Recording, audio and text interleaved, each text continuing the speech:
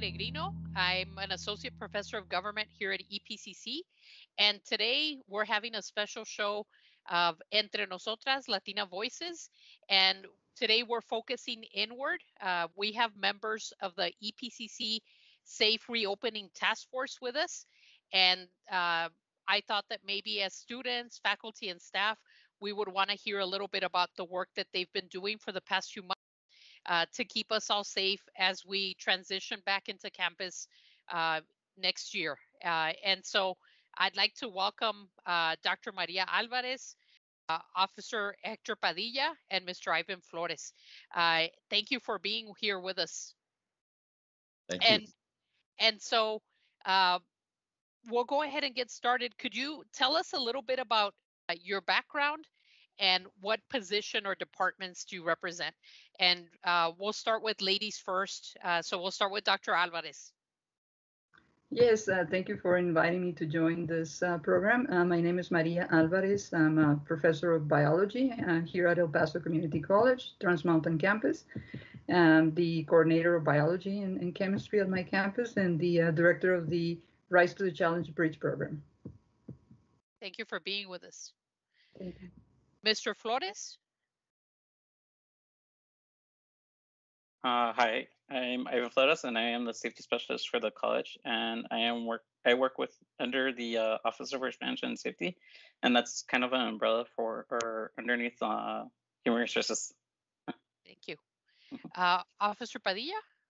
Yes, my name is Hector Padilla. Um, I'm the emergency manager for the college and I work under uh, Chief Ramirez with the campus campus police department. Okay, so so thank you for for joining us today.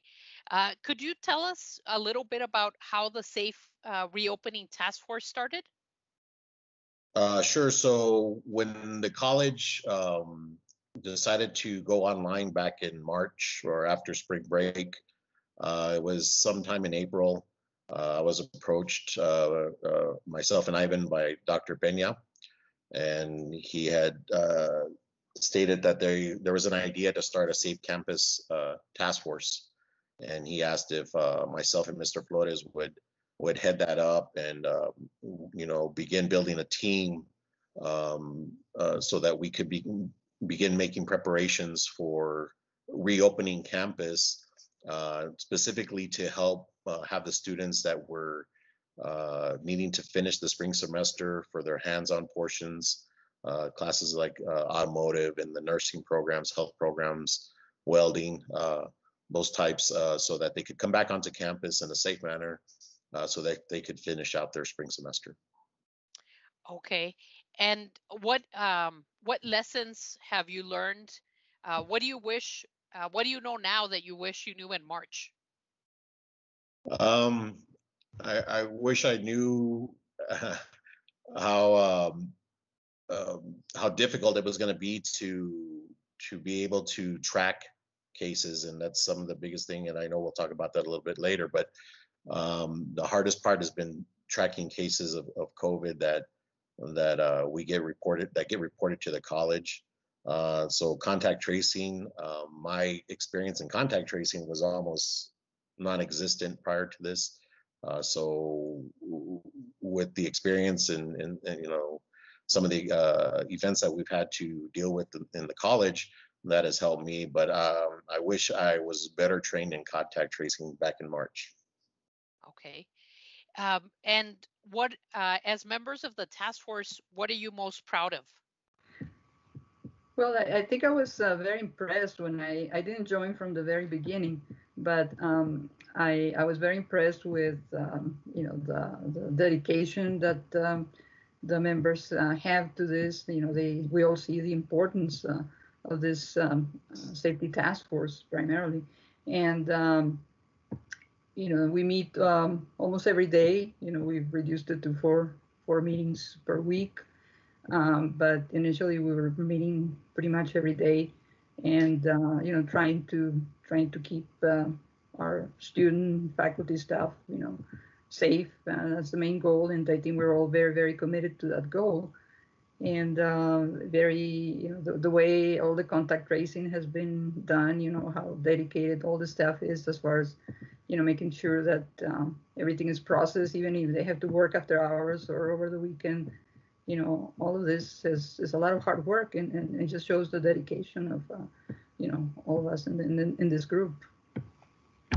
Yeah and if i could add something to that you know i'm sorry ivan. Uh, but uh, you know, the task force is a large, it's a large group.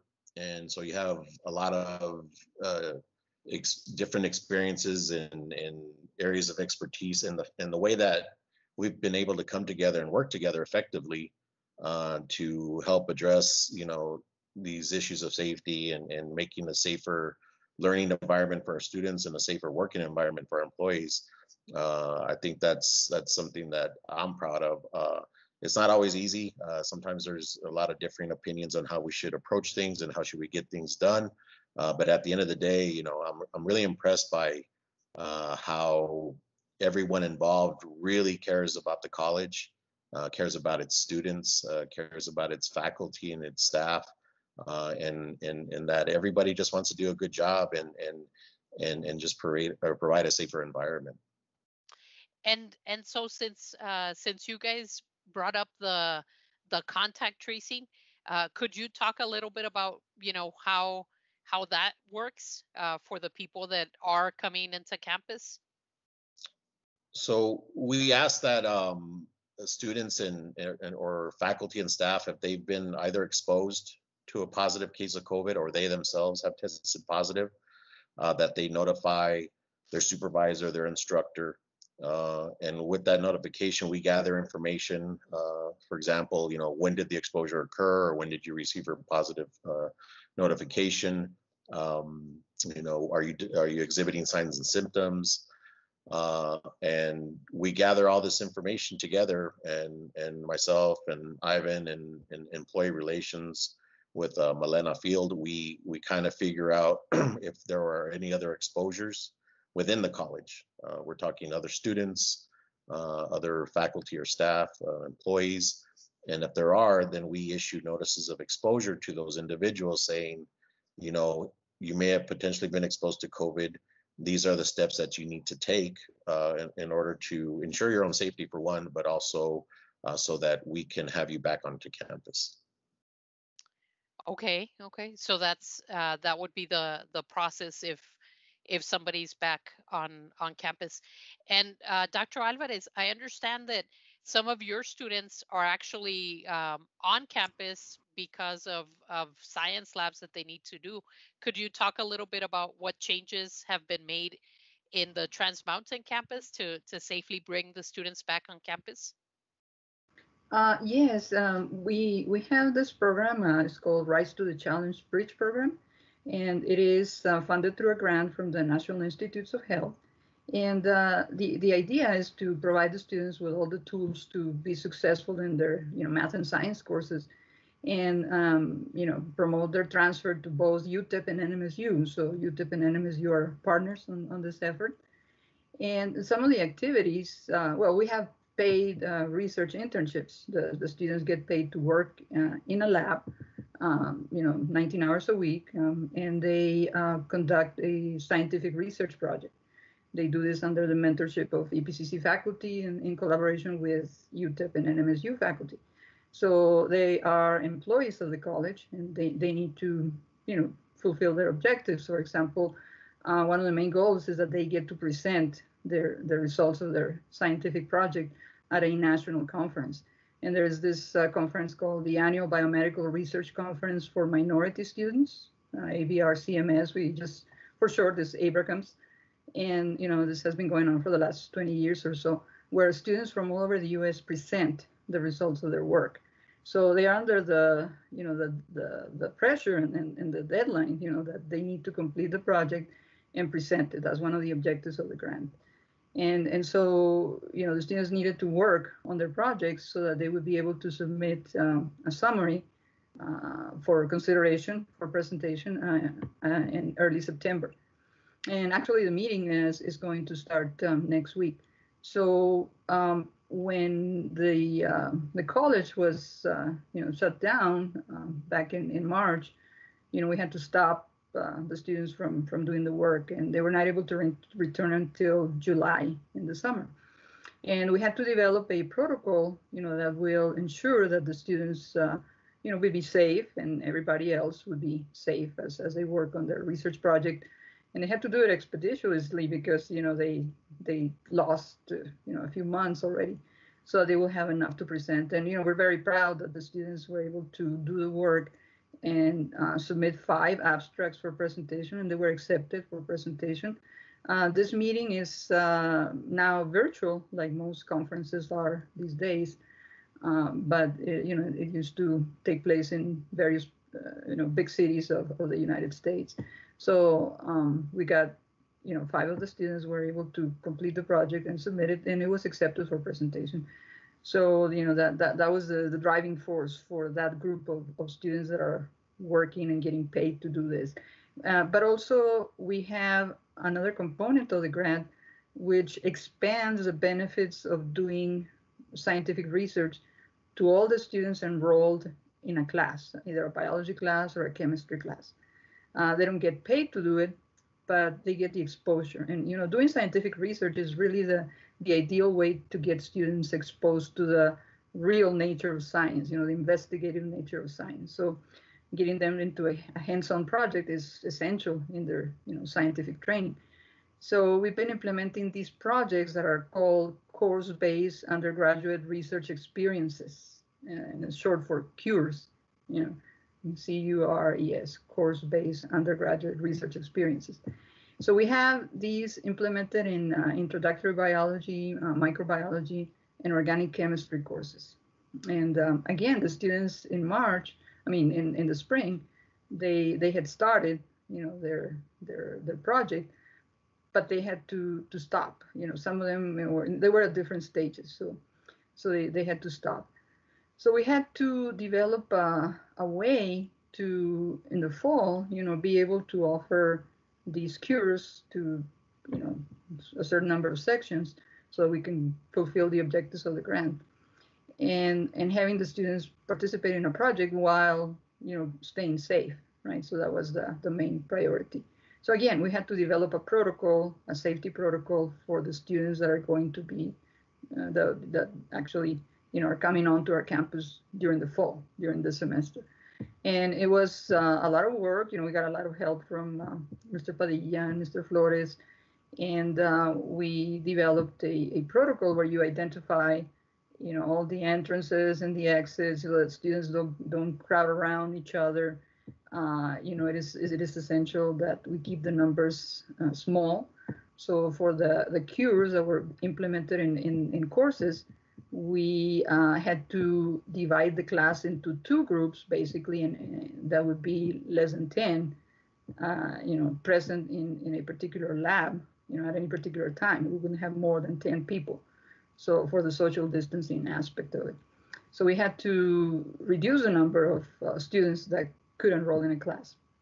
So, you know, it, it was a lot of work and, and this basically uh, had to be implemented uh, at our campus. It, was not implemented district-wide because, you know, the logistics of it is, you know, it's, it's, it's, a, it's, it's difficult. But we were able to do it for our campus and for select classes in introductory biology, microbiology, and organic chemistry. So these are hybrid courses that we're conducting um, uh, on campus at Trans Mountain campus this semester, and then we have the same thing planned for the spring semester.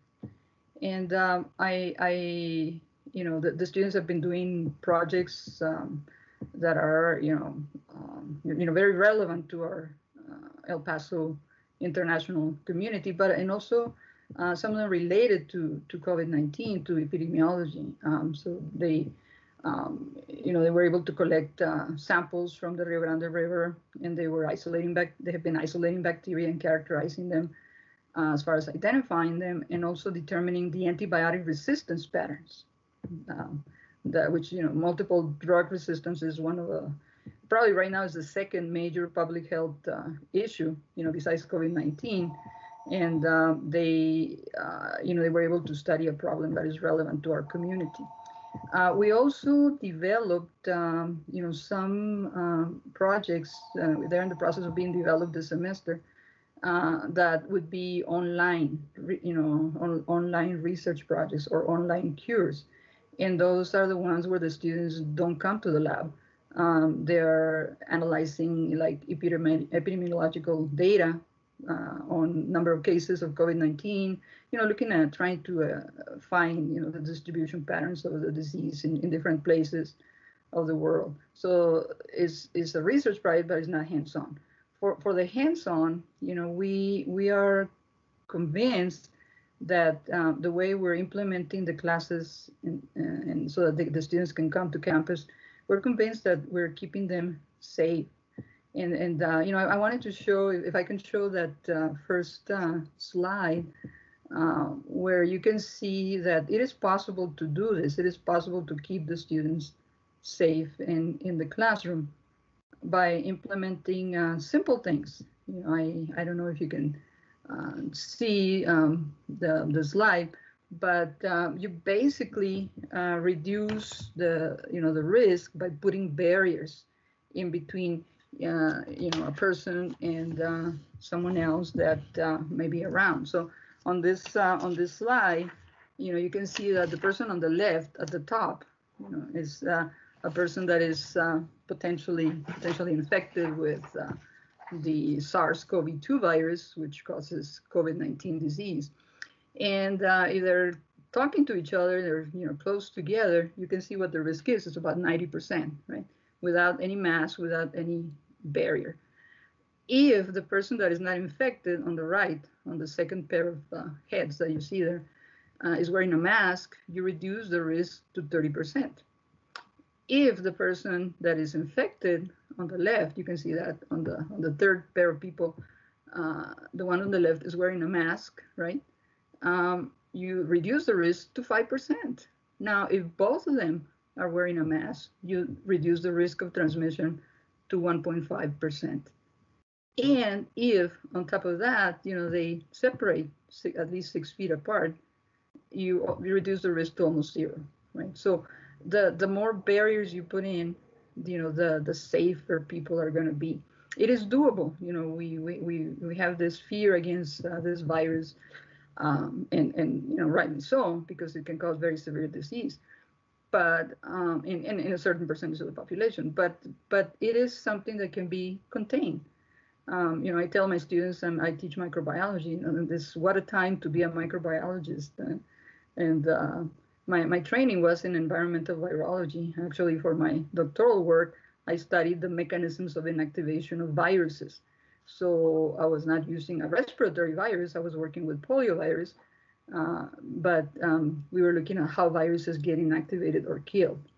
And, um, you know, they, they have this, you know, there, there's a way to control the disease. So in the lab, of course, everybody wears a mask. But in addition to that, uh, our students are wearing face shields. So a second barrier, right? In addition to that, of course, you know, they, you know, wash their hands, disinfect their hands, but they're wearing gloves when, when they're uh, working. That's a standard practice. You know, they always wear gloves and they wear a, uh, disposable lab coat. So all of these barriers, right? Did you have a question? I, I had a question. Uh, so right now, with the reduced number of students, are the labs um, are they like six feet apart from each other on their workstations? Yes, yes, they and are six feet apart. They're six, and we are we we being the college, we're providing the masks and the um, face shields for them as they're coming they, on campus? They, they they bring their own masks, but we do have disposable masks in case you know they drop one or you know something happens. They know we have extras, you know, disposable masks. Do we provide the face shields for the students? And, and that's being covered by the grant because you know all of these projects are funded by a grant. So we provide the, face shields and the and the gloves and, and the disposable lab coats for them. And, and like I said, we, we had to find um, two rooms that were continu- you know, two labs that were side by side or pretty close, so that we can split the class into two groups, right? And uh, and half of the class meets uh, in in one room, and then the other half in the other room. And the instructor kind of goes back and forth. And we also, paid by the grant, we have uh, supplemental instructor uh, facilitators that uh, assist uh, the students. So you know we're we've been able to to implement this, and then you know I, I just wanted to show the next slide and and um, because you know there's and, and I, I don't know if you can if you can read the print. Um, can you make it a little bigger maybe? But um, th this is um, from the Texas Medical Association. And you know, as as we plan to, uh, you know, as we go through our plans to reopen the campuses more, you know, right now we have very few people on on campus, and um, uh, but as, as we plan, you know, we, we need to, I think, ma make our community aware again that it is a dangerous virus, but it can be contained. And uh, like I said, you know, the face mask, the face shield, you know, putting all those barriers, but also the the crowding factor is an important one. And um, you know, you can see on this um, on this chart, you know, they go from at the top, you know, the activities that have the lowest risk of, of transmission uh, of COVID and then at the bottom is those activities that have the, the highest risk. I think these two slides that I'm showing are, are very, very revealing as, as far as, you know, really telling people what's important to pay attention to uh, as, as we reopen businesses, as we reopen schools and, and things like this. Um, you know, we've been talking about eating at a restaurant, for example, you know, if, if you see there, uh, Eating at a restaurant uh, outside, it's at the mo moderate to low risk. Eating at a restaurant inside is at a mo moderate to high risk, right? Uh, again, many other factors, how crowded that place is. You know, as, as you eat, you take off the mask. Uh, if you start shouting and laughing, you know, uh, the more force you use in exhaling, the farther you're going to spread the viruses to other people if the place is very crowded, you know, and is not well ventilated, all of these things have to be taken into account. Um, you know, they talk about HEPA filters on HVAC systems, and um, this virus is is a lot smaller. You know, viruses are a lot smaller than bacteria. Uh, you know, bacteria are micrometer size, viruses are nanometer size. Um, you know, this uh, SARS-CoV-2 is about 160 so uh, a lot of the regular HEPA filters are not going to filter out the virus. So you need to find other, you know, ways of treating, you know, installing the HVAC systems. If you want to add yet another layer of protection, right, uh, which is, you know, not filtering but treating the air that circulates, uh, putting, bringing in more air from the outside into the inside of the building. You know, all of those measures have to be taken into account. And there are several, uh, you know, techniques that can be used, like ultraviolet light, uh, something that is called needlepoint bipolar ionization, which kills viruses as the air passes through the HVAC system. You know, all of these things add yet another, you know, they're expensive, but they add another layer of protection and, and prevention. So I, I think at, at my campus, I'm, I'm, I'm very confident uh, that we're doing everything to reduce the risk to almost nothing, to really zero, just by putting the layers that, that we're talking about and, you know, keeping the numbers low, right? And there's also a lot of uh, air being circulated. It, the labs are very well ventilated. So um, I'm, I'm, convinced that, that we're doing an, an excellent job. And there are hybrid courses that we're offering also for the spring, like organic chemistry, like microbiology, and, and some introductory biology 1306, 1106 courses, um, I'm, I'm convinced that you know the students are they're not going to be transmitting the virus within our campus. I mean, they may catch it outside in the community, especially when the numbers are terribly high. But with the measures that we have implemented, they're not going to transmit it in, in the laboratory or in the classroom and I I think that's great that we're having uh, Trans Mountain be kind of like the test site for the college, and if we can uh, get the procedures down there, then we could expand to the other campuses. Um, and right now, as as we're doing this interview early November, uh, El Paso is number three in the country in terms of for cities of its size in terms of COVID infections. Uh, and so the college did decide to keep some of the keep the majority of classes online for for spring 2021 but with some classes uh, mentioned earlier by Mr. Padilla, some of the science classes mentioned by Dr. Alvarez, those are those are coming on campus. And so, uh, you know, I I feel better just uh, hearing from you and uh, with you having the science background, uh, I feel better about you know uh, returning to to campus uh, in the in the future and hopefully also with with a vaccine or with the numbers down. Exactly. And if I could add something to that, we actually have um, labs that are taking place at every other campus with the exception of Northwest. Uh, you know, so at Rio Grande, at Valle Verde, at Mission del Paso, uh, we have other labs that are meeting face to face where the same precautions and uh, that Dr. Alvarez mentioned, uh, they're in place there as well. Yeah, th those are uh, for the CTE divisions, you know, the career and technical education uh, programs. Uh, but uh, uh, Trans Mountain is the only campus that, that offers the science, you know, the basic science, biology, and chemistry courses, right, as of right now, and then also for the spring. So, so we are, uh, we do have students at multiple campuses, and we're using what we're learning to right now, I guess it's a soft reopening, and then hopefully sometime in, next summer uh, we'll go into a a full um, reopening for the campuses. Uh, and and also we're making these decisions based on indicators.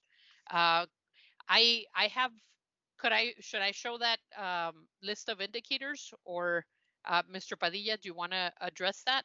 Sure. So these indicators um, were, were pulled from the uh, back in May.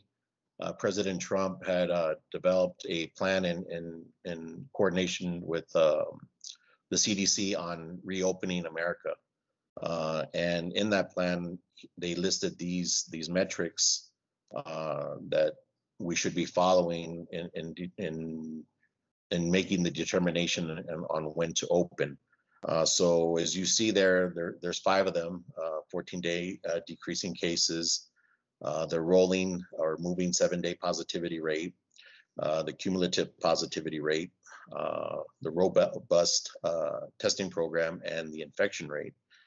Um, currently, um, Dr. Serrata and Dr. Pena, they do a very good job of, of updating their records on a daily basis updating uh, the actual numbers that are that are coming in.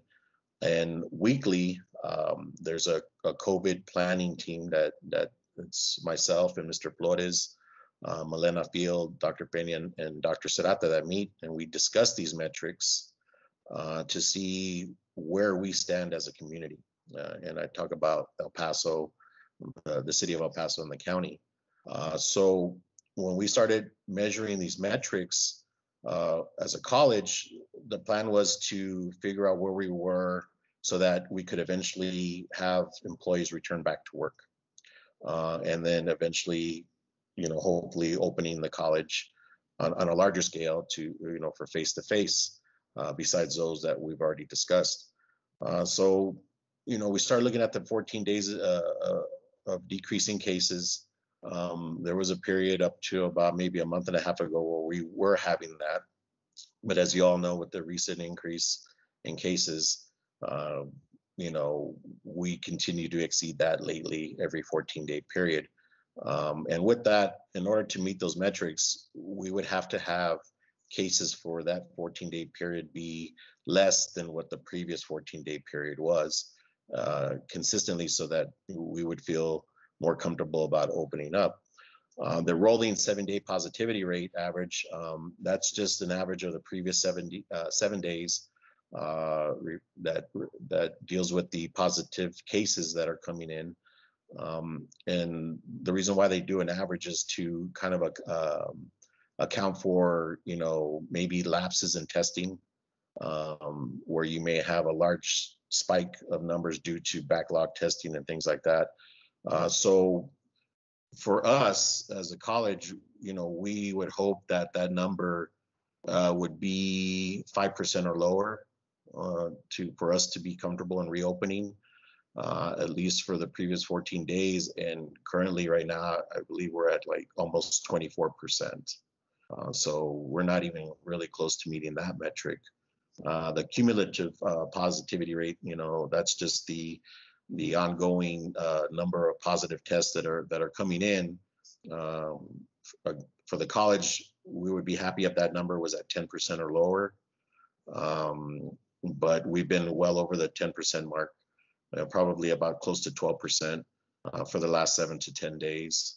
Uh, the robust testing program, that's where, you know, at least the very minimum to have 50% of, of people receiving their test results within 72 hours. Uh, that would be the, the very minimum that I think we'd be comfortable with. Uh, but at this time, I believe it's only around 20% of people are receiving their test results uh, within 72 hours, which is a very low uh, number. And then the infection rate, uh, that's just the, the number of positive cases of COVID per 100,000 in population. Um, and we would be comfortable if that number was at about 25 per 100,000 in population and right now we're at about 197 uh, per 100,000. That's what our current rate here locally in El Paso is. So, you know, for the college to be comfortable and begin opening up, uh, we would want to be hitting all these benchmarks. Um, but as as you can tell, we're not meeting any of them at this time. And uh, thank you for for sharing that. And as all of us know since we've been keeping up with the news, uh, El Paso's really overwhelmed in terms of, of the hospitals having to add ICU beds, having to bring in nurses from FEMA, having to uh, UMC is having like outside portable units because they're they're that uh, backed up. Uh, so so good to know where those numbers are coming from, and and so who's actually like tracking this? Is would this be the task force or your office that's getting these numbers from uh, also vetting vetting them with the county finding out from I, i'm thinking that there's some collaboration across uh, well i'm hoping that there's some collaboration across the county right? So yeah uh, we get the numbers from what's reported uh, and then also on the ep strong website uh, so that's where we're getting our numbers from. And then also we'll go with the uh, DSHS website as well. And so we get all the information together, and then, as I mentioned earlier, we'll we'll discuss it uh, with Dr. Serrata. And and again, they, Dr. Serrata and Dr. Pena do a really great job of, of tracking these numbers. Uh, and and they they have like an Excel sheet where they they input their numbers on a daily basis, and and and based on those numbers is what we'll use uh, you know to eventually determine what uh, when we will open back up as far as allowing more employees uh, to come back to work. And and i know some of the school districts are participating on some fast track testing. Has that been offered to the community college?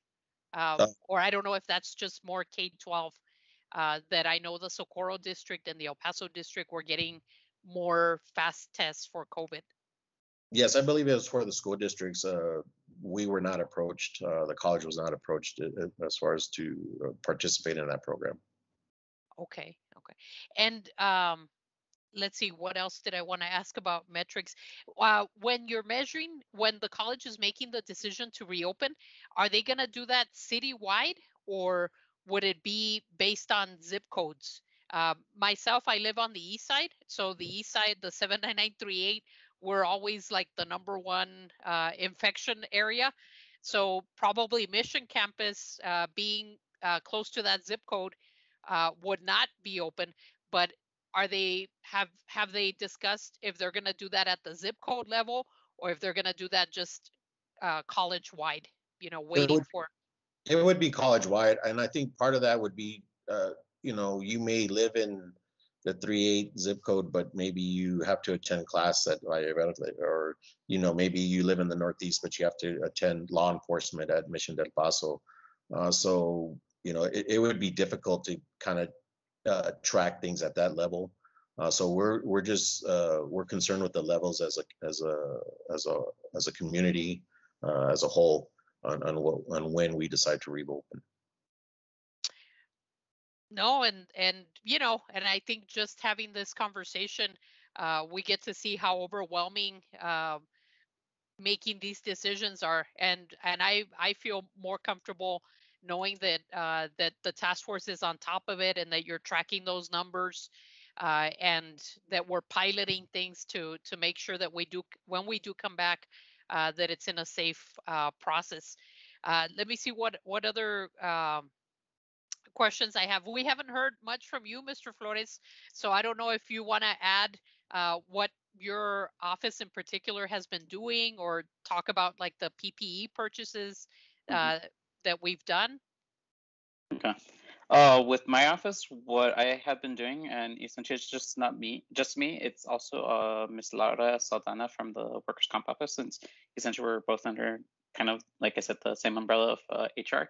Essentially, we uh, kind of handle the purpose for the PPE that is requested for offices for the staff and also faculty. And essentially, with that, what we try to do is just um, we try to see what is kind of reasonable for providing to the faculty staff because I know right now everyone's trying to be a little bit more um, careful and having a little bit extra in hand. But the thing is, like I said, we try to be a little bit more reasonable and trying to give uh, certain supplies like the uh, disinfectant wipes, the disinfectant sprays, uh, a couple of the uh, disposable masks, and also the gloves as well.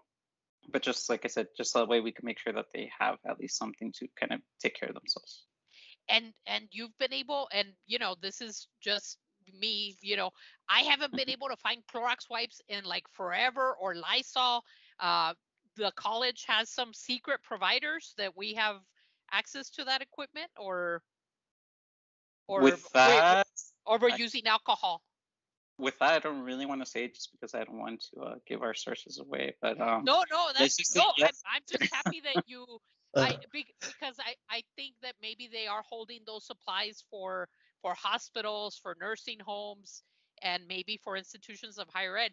So I, I'm just happy to hear that we that we have those. I I'm kind of a planner, so I I knew about this, uh, you know, when I was uh, teaching government classes. So I have my I still have my little stockpile of Clorox wipes uh, that that I have, uh, but you know but good to know that the college is getting them for the for the workers that are that are staff members that are coming on campus and and i know when i've been uh, wanting to go to my office i have to check in 24 hours ahead uh, to make sure and then i fill out a little questionnaire if if i had symptoms or not uh, before i'm i'm allowed back to to my office. I've only gone once uh, because i needed to get a textbook for a part-time instructor that's new uh, but you know good good to know that those protocols and and procedures are are there. So uh so the employees wouldn't i i myself i'm kind of a planner right? So i've been mm-hmm. like buying all my masks at costco and you know antibacterial stuff. Uh so i would i would get something if if maybe the person is not as uh, paranoid as i am uh, they would get something uh, coming back to the office anyway. Is there like a little kit? Uh, it's not really a kit, but the thing is, there's a request form, and what we do try to ask is the department fills it out because, like I said, essentially sometimes the employees can be a little bit more um, hoarders. I putting it nicely, I guess that's the best Aggressive term. But the thing is, yeah, uh-huh. but uh, essentially, we just try to, like I said, make sure that we do have the disinfectant supplies. So in case uh, the person does need them, then of course they could use them. And essentially, like I said, uh, like I should have said before, it's not just limited to those items. We also have um, uh, items like uh, hand sanitizers as well and the face shields. Okay, okay. So so we would be, uh, let's say, you know, if I uh, if I decide to, or if they ask me to teach uh, in person on in the summer, I you know I could bring my mask from home, uh, but then ask for a face shield uh, that that are usually reusable, right? If we if we clean them off with Clorox and everything. Yes. Yes. And then with that, uh, one of the reasons why we went the way of uh, face shields is just because the fact that with the plexiglass, it was going to be really difficult because like some of those pieces are very expensive, especially right now with everything going on. That's why we thought the face shields would be a better option as opposed to uh, trying to put plexiglass all over. Okay, so so we're not doing plexiglass uh, behind the computer desk where the people lecture. We're we're going more the face shield route. Yes. And it's just mostly that the uh, areas where people would be consistently in front of students, like say uh, financial aid or even the uh, cashier offices, that's where we're trying to at least uh, get the plexiglass. Okay, okay. So kind of like in the stores that they've put plexiglass and asked people to stand a couple of feet between them and the cashier. Yes. So we're we're doing that as well. What what else have we have we done that maybe we haven't touched upon?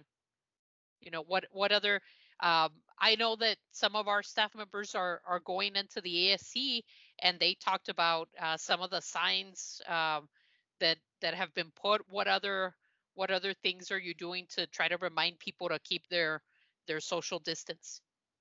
Uh, well, I don't really want to take credit for that from the Safe uh, Campus Task Force, just because the fact that it's actually a physical plant that has been actually getting us those uh, stickers and things like that. So essentially, for uh, certain areas where you're going to have to wait in line, what they try to do is at least put the uh, little markings, there yellow and black uh, stripes of tape that they put on the floor, so that way people know where the six foot mark would be, and also they were post uh, what's called posting uh, different types of um, posters, just that way the people can remember about their face mask, uh, wearing their face mask on campus, uh, that we are a business that requires a face mask, and also um, making sure that they do, or people who do walk into our facility, maintain that six foot distance. And like uh, Dr. Alvarez was mentioning about the classrooms, was that we are trying to at least make sure that there's certain areas that are considered entrances and exits, just so that way we could sort of uh, make sure that our janitorial staff does take care of those areas particularly, and that way they don't have to worry about uh, cleaning up the whole building. And that's not to say that they're not cleaning up the whole building. It's just more of the fact that we want uh, students and staff and also faculty to make sure that they enter one way and also exit another way. Or if the same entrance is the exit, then at least uh, the janitorial company knows to pay extra attention to that area. No, and and I know the one time I visited my office, I did have a sticker saying that my office had been disinfected on this date. So they are they are doing the cleaning, but I I see your point that they want to uh, focus on the high traffic areas, uh, mm-hmm. or or maybe like the restrooms, uh, places that more people um, are likely to to use. Uh, well, I know that I I feel uh, more confident and comfortable after after speaking to you. So hopefully, our uh, faculty, staff, and students will also feel more more comfortable.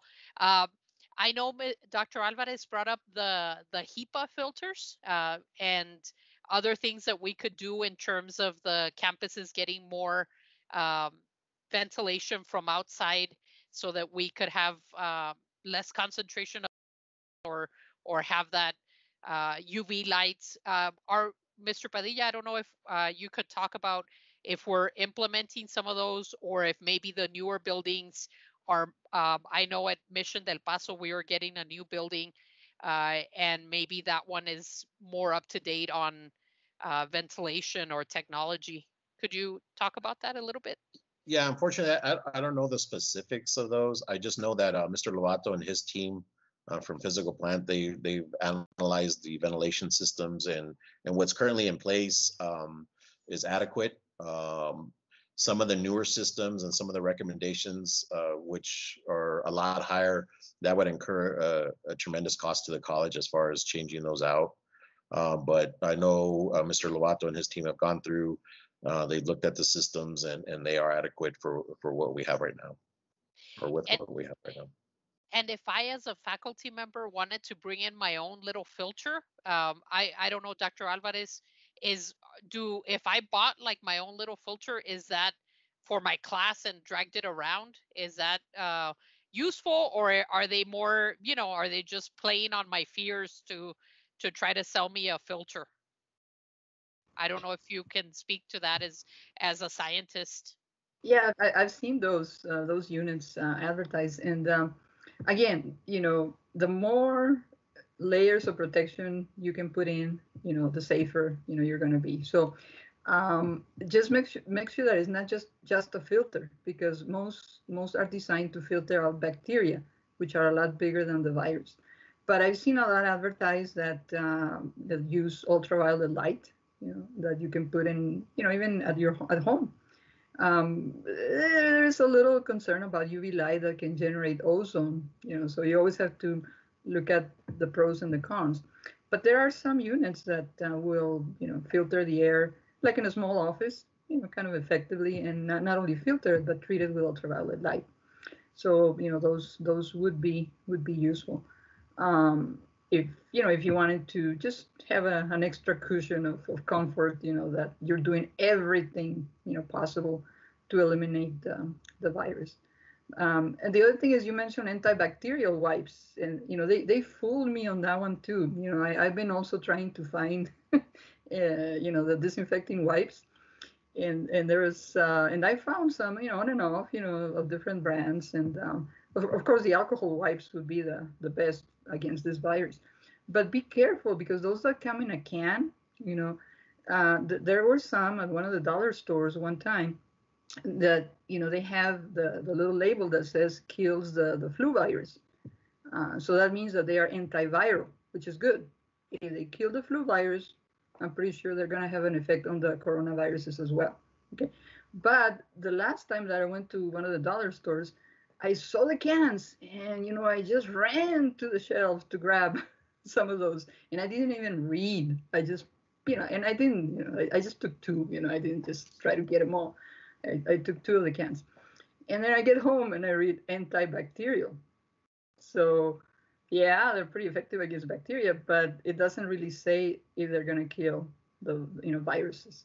So be careful with that. You know, the, the, the Lysol wipes that, that you can get sometimes and the Clorox wipes, those are antiviral. You know, those will be effective at killing the uh, the virus. You know, they have different chlorinated compounds that that do that. But if it just says antibacterial, they may not have a lot of effect killing viruses. so, you know, they got me on that one. It was like, oh, this is what I get for not reading instructions. Yeah. And and if they got you with the PhD in in biology, you know, uh, what about the rest of us that you know we're we're more uh, lay people? Um, and and I understand it's also like a certain percentage of alcohol that it has to have, no, in order for it to be antiviral as well. Yes, yes. You know, it's, it's usually over 60, 65 percent. That that would be good. Yeah. And and so speaking uh speaking of that, uh I actually have a niece who just got a degree in engineering. Uh and I I kind of you know want her to start a business or for us to start a business doing N95 masks because that's another thing that I I know that I started looking in January and Home Depot, Lowe's, everybody was sold out. Luckily, I still had a couple because you know I I think I had I had some from the H1N1 scare because I'm that kind of person, right? Uh, but but do um, I don't know if if any of you can speak to that. Uh, do we have like secret suppliers that you know for people in labs or or for medical professionals that maybe if the students are still doing their their rounds in the hospitals uh, would they be able to to get those from us or or we're also um, you know don't have that um, yeah we're we're also not having those supplies. I don't know if our access to n95s if we have that. So i guess i'll take that one. Uh essentially for that what we're trying to do right now is we're trying to prepare for the uh, spring semester and getting the uh, supplies. Because what the big problem is is the fact that essentially all the different uh, health programs that we do have on campus right now they require different types of um, masks and essentially just having one blanket mask isn't going to fit for all of the uh, like i said the healthcare programs. So what we're trying to do at least uh, we're trying to find is um, we're trying to find someone who can be like sort of like our go-to person to get the vendors. So that way we don't really have to be doing the purchase orders for those and essentially they would kind of uh, give the information to us and from there we can sort of uh, find them that way and that way uh, you know we can try to get, provide these items for students and not just our students but also our faculty faculty as well just because the fact that they also need these uh, items as well no and I, and I could see where uh, students in the in the nursing program or dental hygienists would want to have like the higher quality uh, mask to have the the higher quality protection. So okay, so those are those efforts are still. Uh, so it would be a good business for me to start with my with my niece if we could produce N95 masks for the city. Well, some N95s you have to be fitted, um, Mhm. and and so if you're gonna provide a certain type of N95, um, depending on the type, you would have to have them fitted for the individual.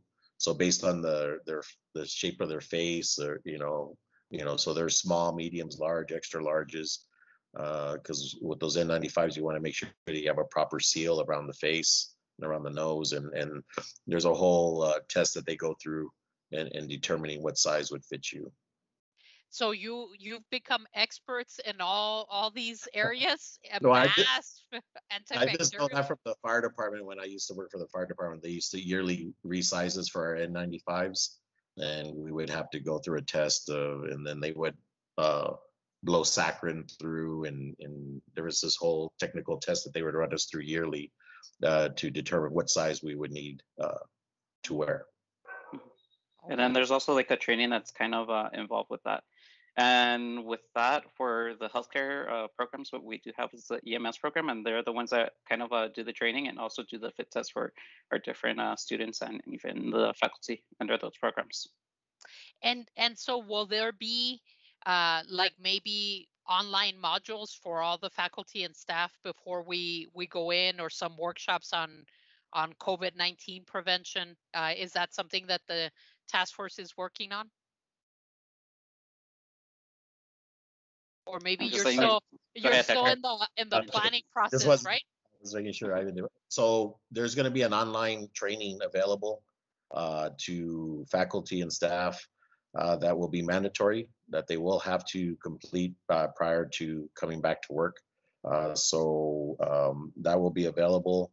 Uh, we just had a meeting uh, prior to coming on here with you all uh, with IT and Dr. Pena, Melena Field, and Dean Hajar and Ivan, where we were working out some of the final details on implementing that. Mhm. And one of the things that was implemented for the essential staff that are, going to be returning through the uh, phase returns plan, they were already trained by uh, certain faculty members on this uh, particular uh, COVID 19. And it just basically goes over the different things that uh, some of the things you did see in the PowerPoint that uh, Dr. Alvarez had shared, but also kind of gives information about how to put on your face mask, things like that. No, that's that's wonderful, and I think uh, you know there there could be some people that are still uh, skeptical that think it's a hoax, and so this way, you know, we'll be able to to get that information to uh, to them. And like you mentioned, we do have a mask mandate uh, policy, so even if uh, if students or or faculty and staff are hesitant to wear a mask, uh, that's the college policy, so they'll have to abide by that. Um, I know we're we're coming kind of close to or uh, we're coming kind of close to the end of of time. Uh, is there any other uh, area that you wish to address that maybe we haven't covered? I know I sent you a, a whole bunch of questions, uh, but maybe something that comes to mind that we haven't gone over, or something that you feel would be important for faculty, staff, and students to keep in mind. Well, I'm sure I'll start. So I, I think there's there's been some word about the return to work plan. Uh, I know that's there's been some discussion on that and and why that hasn't been released to everybody. But um, the reason why it's is we just don't know when we're going to be returning back to work uh, based on local conditions. As soon as things uh, start to improve and we start meeting uh, those metrics that I, I went over earlier, uh, then then that plan that's uh, been developed uh, will will get final approval uh, from the board, and then that that plan will be disseminated to the employees so that they know uh, the different phases that will be returning uh, back to work.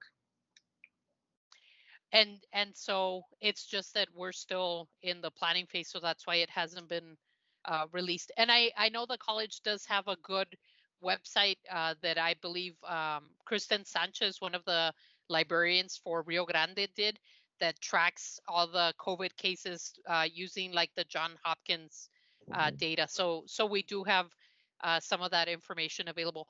Uh, I just thought of of something else, and and we are kind of running out of of time, but. Um, I I know that one of the board meetings they mentioned that we might be in the process of developing an app. Is that uh, is that something that's in the works, or was that you know maybe I I was they were talking about the school district and not us? I, I- I'm not sure, maybe that was in reference to the health screening agreement app. Was that, was that it, Ivan? I'm not sure. That's what I'm thinking. It was Dr. Graham that brought it up, and Mhm. and Oh, she talked yeah. about uh, Mhm. maybe that the Clint district had an app. So I didn't know if if that meant that we were going to get an app as well to do maybe the contact tracing or uh, to do a little screening before we come in to campus. Well, there is, there is plans to have a health screening agreement available online uh, to faculty and staff, uh, where they would have to uh, go on, check in or log into the EPCC, my EPCC, and then they would fill out that health screening agreement. And I believe it's going to be six questions, yes or no questions, Ivan? Um, Yeah, five, six questions. about five or six something. questions and uh, uh, you know if they answer no to all of them uh, then they'll be allowed to come onto campus if they answer yes for any of them uh, then they'll be uh, contacted uh, by employee relations or myself or ivan uh, on on why they they cannot access uh, campus at that time So we'd have to fill that out like the night before or the or 24 hours before. No probably the day that you're getting ready uh, because part of one of the questions is uh, for example do you have a fever of 100 degrees or higher? Uh, if you answer yes to that then you know you should stay home. Uh, if you answer no then you know then we know you don't have a fever. Uh, and you know the the employer or, or faculty could uh, proceed to campus. Okay, well, um, I, you know, I feel talking to all of you, I, I thank you for your time. And I know that I feel more comfortable. Uh, hopefully, after people watch the, the show, uh, they'll also feel more comfortable that uh, we have a good task force that's on top of all these areas. And, and so uh, thank you for, for taking the time to uh, meet with, with us and be on the Entre Nosotras TV show. Uh, and I, I wish us all a safe return. Uh, and you know, I I want to just um, thank you for for doing the work that you're doing. In, in case you're not getting enough thank yous from from faculty and staff, just you know maybe uh, concerned emails. I I do want to thank you because I, you know, I know uh, myself as a staff member, I feel way more uh, confident and comfortable after having this conversation with you. So hopefully uh, you're going to do some workshops at faculty development because I think that's another area where you could reach people. Uh, or we'll try to put this uh, show on E EPCC TV so that way that could be a resource for them as well. Uh, so so thank you for for your time and um, you know I think I think we're we're good to go. Thank you. thank you Thank you and goodbye. Thank you.